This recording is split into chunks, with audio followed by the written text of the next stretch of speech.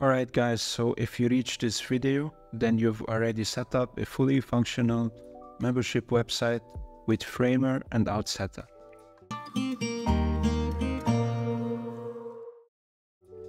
Now this is not the end of this series, I'll be adding more videos to it.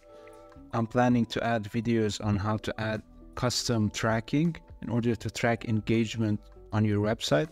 So for example, let's say you want to track who watched this video. You could have an event in here. Each time a user plays this video, you'll know that they performed this action. Similarly, if you have, let's say this is a course page, if you have a next lesson page, you could track when the user completed this lesson. So you could also connected to a drip campaign where you could send them trigger emails. So you could send them an email saying, Congratulations on completing this first lesson. We'll learn all about this in future videos. I'll also cover how we could set up lead capture forms using Outseta.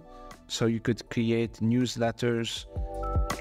As you know, Framer doesn't have native form support. So this is a very useful feature. So if this sounds good, don't forget to subscribe and save this playlist to your watch later. I'll be adding more videos to this playlist in the future. That's it for now. I'll hope I see you in a future video. Bye bye.